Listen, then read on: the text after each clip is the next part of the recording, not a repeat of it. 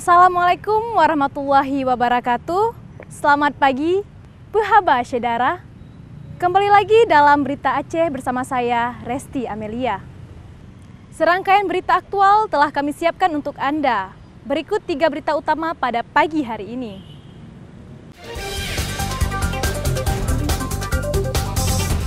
Sedikitnya 50 imigran Rohingya kembali mendarat di pantai Aceh. Kali ini mereka berlabuh di pantai Seneboi di Aceh Timur.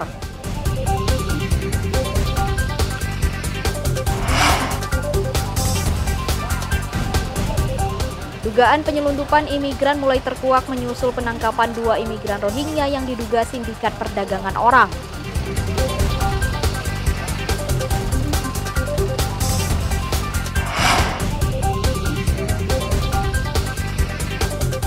Sejumlah logistik pemilu 2024 diterima KIP Kota Langsa. Hanya surat suara yang masih menunggu pengiriman dari KPU Pusat.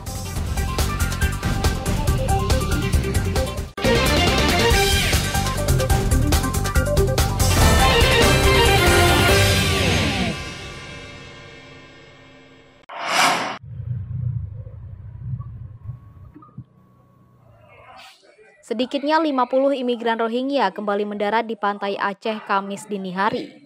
Kali ini mereka berlabuh di pantai Gampung Senebuk Baruh, Kecamatan Darul Aman, Aceh Timur. Puluhan etnis Rohingya yang mendarat di pantai Aceh Timur baru diketahui warga Kamis pagi. Mereka ditemukan warga di sejumlah tempat sekitar pantai. Bahkan beberapa imigran Rohingya yang semuanya lelaki ini sudah berada di sekitar permukiman. Warga kemudian menghubungi polisi agar ditangani. Meski warga keberatan, para imigran Rohingya ini tetap diberi makanan. Pendatang asal Myanmar ini juga diperiksa kesehatan untuk memastikan mereka tidak sedang sakit sehingga menulari warga setempat. Semalam jam 2 hmm. dan jumlahnya sekitar 50 orang. Dan saat ini mau dilokasi ke mana Pak? Rencana ke kabupaten di Bang Kamil, Bang Kamil, Bogor, Bang Kamil, ayo ayo. Itu pun sudah kita periksa kesehatannya, kesehatan. Kesehatan telah memeriksa kesehatan Setelah diperiksa kesehatan, para imigran didata. Mereka lalu dibawa ke penampungan sementara Gedung ID Sport Center ISC di Kota Idiraya, Aceh Timur. Sejauh ini belum ada petugas UNHCR atau IOM atau lembaga internasional lainnya yang mengurus pendatang ilegal ini. Tim Liputan melaporkan dari Aceh Timur.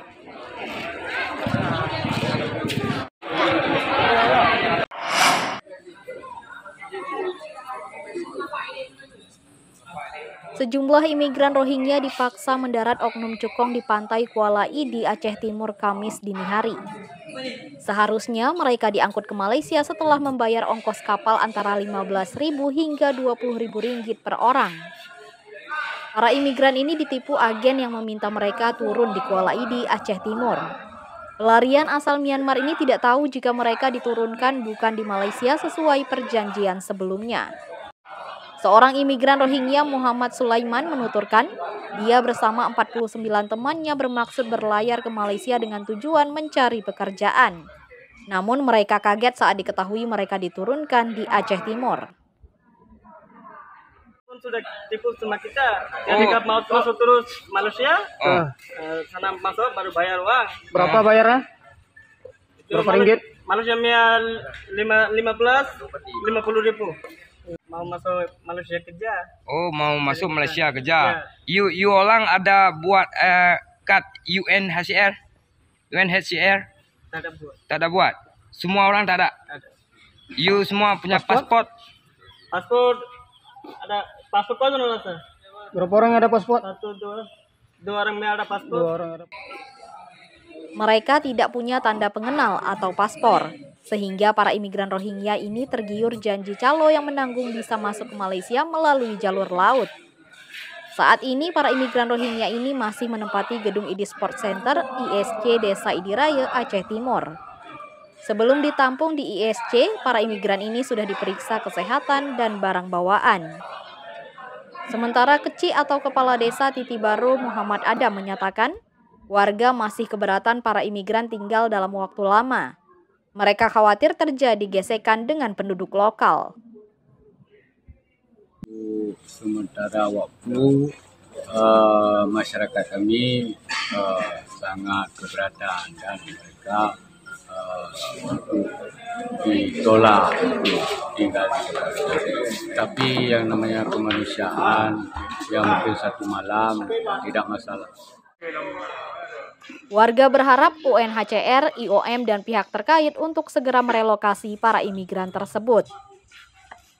Tim Liputan melaporkan dari Aceh Timur.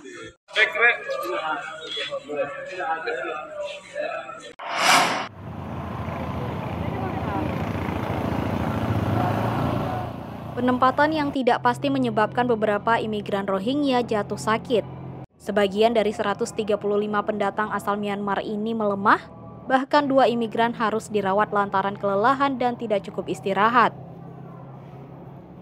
Para imigran yang dikumpulkan di lantai dasar Balai Mesraya Aceh BMA menderita demam lantaran tidur di bawah kolong tanpa sirkulasi udara yang memadai. Beberapa anak-anak imigran Rohingya kedinginan akibat tidak ada selimut. Seorang imigran Rohingya perempuan yang sempat dirawat di rumah sakit harus dikembalikan ke penampungan lantaran menunggu kejelasan penanganan. Mereka masih ditemani para relawan terutama dari Palang Merah Indonesia PMI kondisi hari ini cuma ada satu juga waktunya yang demam yang memerlukan uh, satu selimut yang untuk menghangatkan badan. Dan kita nggak bisa membawa orang itu dan untuk yang kemarin yang sudah kita bawa rumah sakit itu sudah kita kembalikan yang satu orang kita rumah sakit dan kita kembalikan selebihnya mereka masih sehat-sehat aja bang ya? Penanganan para imigran Rohingya yang mendarat di pantai Belang Ulam Lamreh Aceh Besar pada minggu pekan lalu hingga saat ini masih belum jelas. Mereka dipingpong ke mana-mana menyusul penolakan warga yang masih keberatan atas kehadiran pencari suaka ini. Taufik Kelana melaporkan dari Banda Aceh.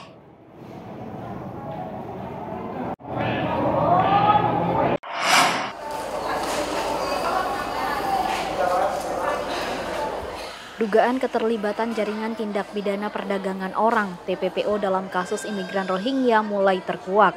Satuan Reskrim Polresta Banda Aceh menangkap dua warga Rohingya saat mendarat di Kabupaten Aceh Besar minggu pekan lalu. Namun polisi baru mengumumkan ke media setelah penyelidikan kedua pendatang Rohingya dilanjutkan. Kedua imigran Rohingya ini memisahkan diri dari rombongan untuk mengelabui petugas. Namun keduanya ditangkap ketika hendak kabur dari rombongan. Polisi menahan Muhammad Amin dan Muhammad Nusroh, warga Rohingya. Keduanya ditahan setelah polisi memeriksa tujuh saksi dari etnis Rohingya ini. Jadi Satreskrim Polresta Banda Aceh saat ini eh, sedang mengamankan eh, tujuh eh, awalnya dua orang yang diduga mereka melakukan tindak pidana penyelundupan uh, manusia atau people smuggling ya, di mana penyelundupan ini terhadap etnis Rohingya. Dan dua orang ini pun uh, yaitu etnis Rohingya juga. Polisi masih mengembangkan kasus ini untuk mengungkap dugaan sindikat penyelundupan warga Rohingya. Kedua terduga pelaku dan saksi masih diperiksa polisi. Tim Liputan melaporkan dari Banda Aceh.